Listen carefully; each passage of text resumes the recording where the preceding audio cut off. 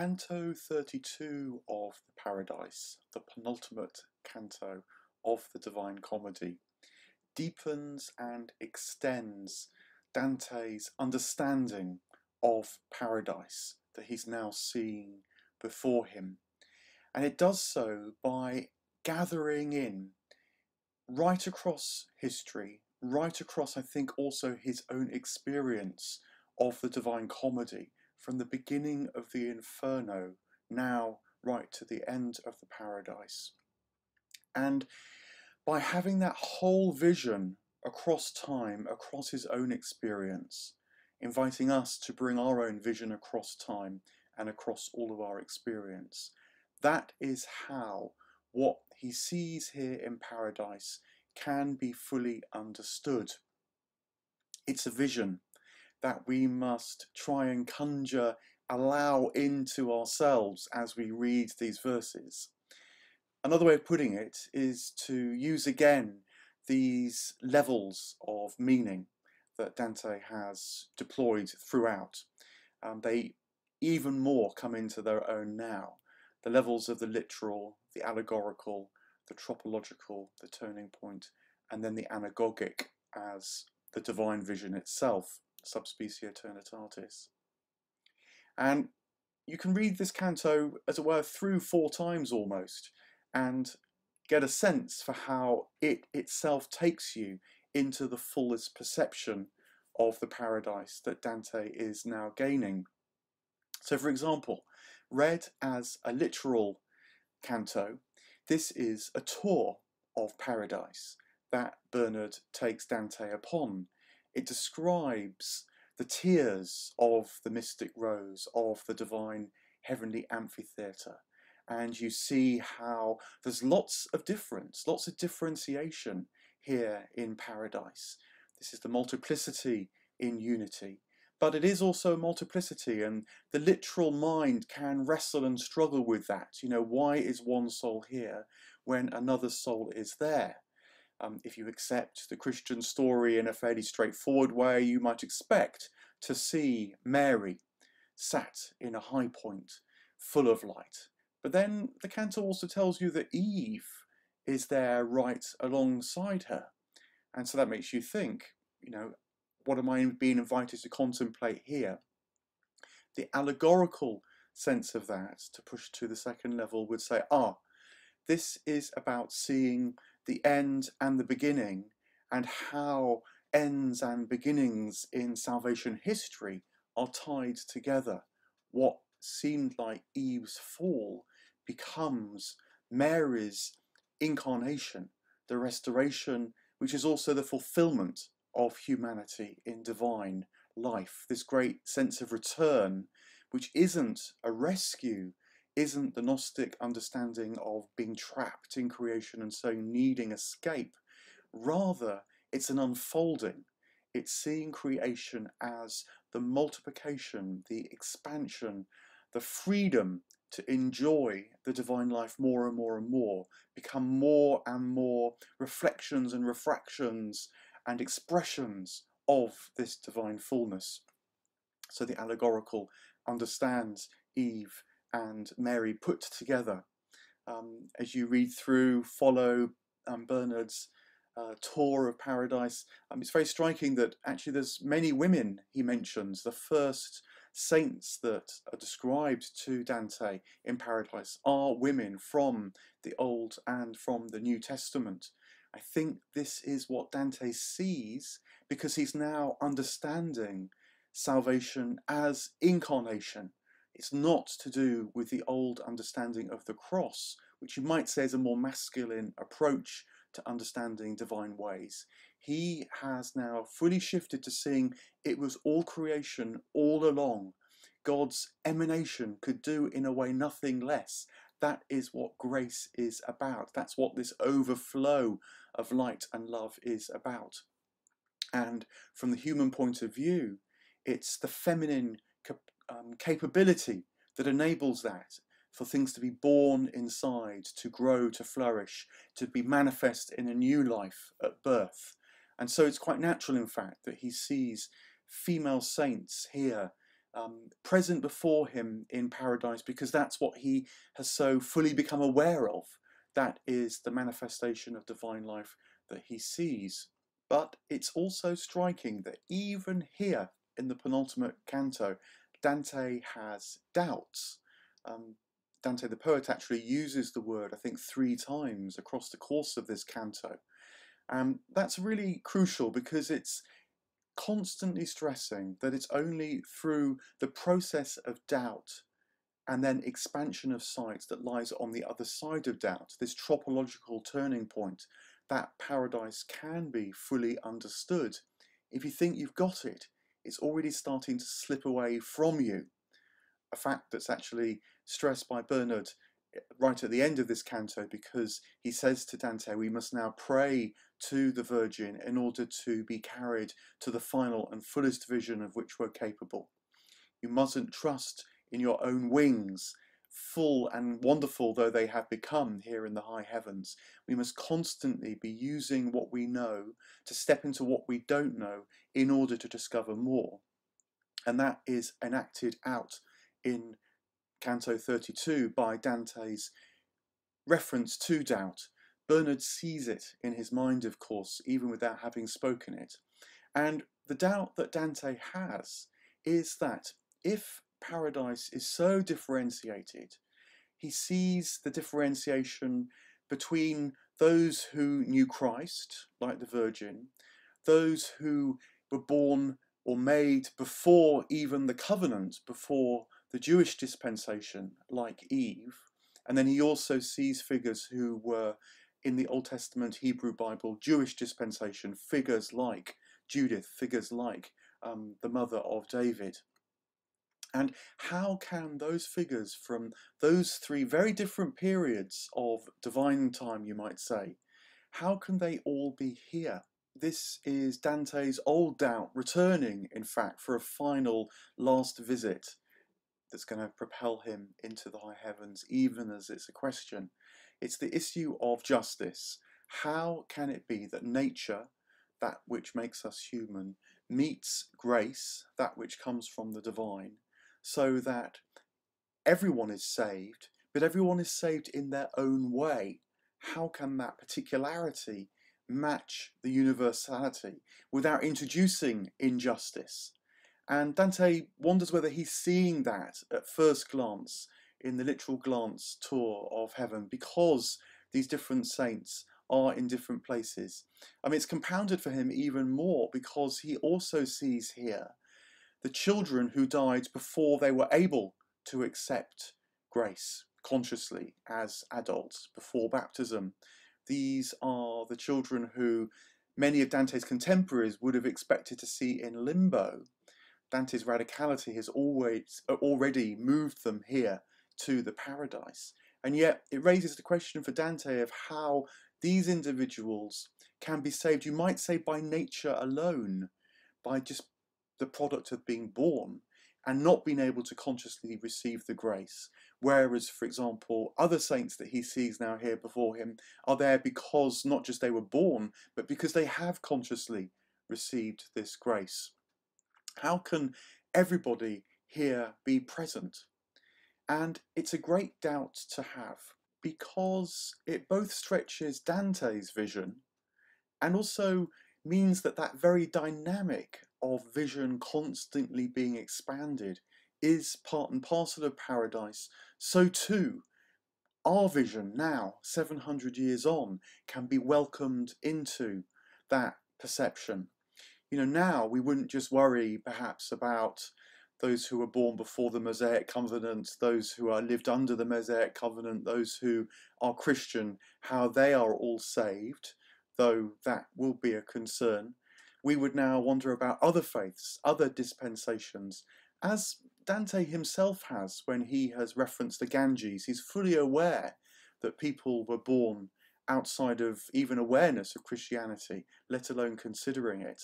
And in fact, we've met people like that earlier in Paradise with Ripheus particularly, who he uses, I think, to indicate the expansion of vision that knows no bounds. Bernard says to him at this point, you know, marvel at God's plan, marvel at the extent of this garden. That is the tropological dynamic which we must embrace as much as what is literally seen.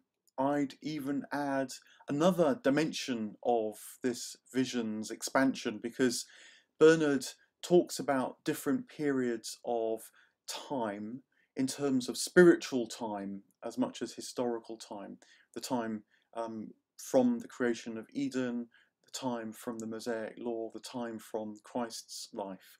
And I think that allows us to say Dante would have expanded his vision had he been writing now to include also this evolution of consciousness, which I've referenced quite a few times across these podcasts.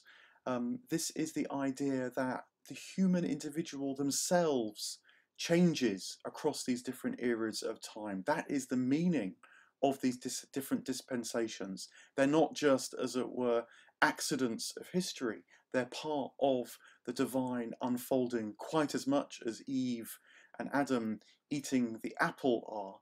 They enable us to become at once more and more individual and particular, more and more knowing our I amness, in order that the divine I am can be consciously reflected and enjoyed and loved within us too. That is part of this salvation as incarnation, creation as constant outflowing. That is now reaching the greatest expression that Dante can give it, leaving us to fill in even more expression as we receive what he has written, filling in the vision ourselves. I mean, put it like this I think you can read the Inferno, the Purgatorio, and the Paradiso themselves as three stages of individuality becoming capable of divinity. You might say that in the Inferno, individuals there are trapped in their individuality. They become so entangled with the particularity of their lives that they're unable to see the divine grace present through and behind it. That's what keeps them locked frozen still in the deepest, darkest places of the inferno. The purgatory represents a different stage where the individual becomes conscious of how their individuality has trapped them, but by seeing the ways in which they are trapped, they also discern the ways in which there's more than just than what they thought, that there was a life behind their life, um, that there was a greater being behind their particular being. And so by not losing touch with who they are, but by becoming aware of that they're more than who they are, they're gradually able to welcome into their individuality that which is more than they are. That's why purgatory takes some time. It's not just a click of the fingers, a magic transformation in which you suddenly become capable of the divine, because that would be to lose yourself. The whole point of the descent and the ascent being intimately linked is that everything is gathered up into the one vision. Nothing is lost.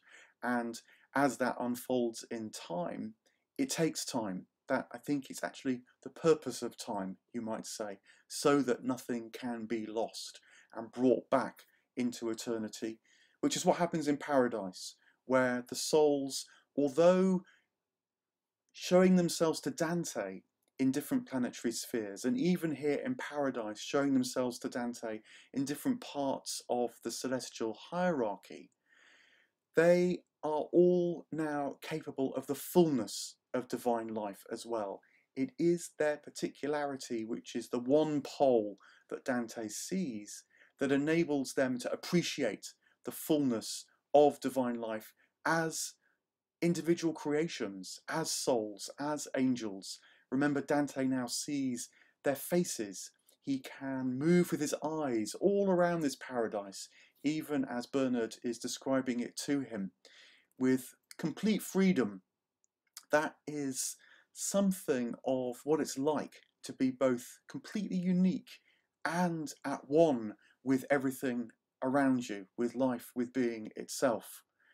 If you can know that sense of separation without distinction, you can also know something of what it is to be free here in paradise, with its many expressions and with its full and complete joy that God, as Bernard explains, completely intends. That is the nature of grace. It's both at once God's knowledge of how this would be and our coming to knowledge of how this can be. Let me just read a few lines from Mark Musa's translation to get a direct sense of some of the lines from the canto. Um, this is where Bernard tells Dante that he must gaze once more on Mary's face, on she who is the archetype of God being born within us all, so that he can receive the joy of her life, feel that passion and love, and so have it fostered and kindled within him in his own particular expression of incarnate life. So Mark Musa translates Dante with Dante looking on Mary, saying, I saw such bliss rain down upon her face, bestowed on it by all those sacred minds created to fly through these holy heights, that of all things I witnessed to this point, nothing had held me more spellbound than this, nor shown a greater likeness unto God, and that love which had once before descended now sang Ave Maria Gratia Plena, before her presence there with wings spread wide. In those three tercets, you get this dynamic of that which has descended is now sung again, ascended, Ave Maria Gratia Plena.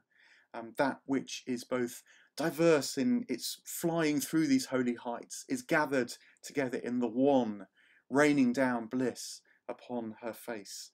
Um, that which everything he's witnessed to this point, he's sort of conscious of everything he's witnessed to this point gathered together so that now it holds him completely spellbound in what he's seeing. He can see not just the multiplicity in paradise, but all that complexity that he'd encountered, incorporated, struggled with, transcended through his own journey. It's all active here, I think, here in Canto 32, crucial to understanding the canto and the vision it's trying to convey. The end of the canto brings another part of the tour that Bernard gives Dante. Again, you sort of left this sense that there could be endless tours of this endless place.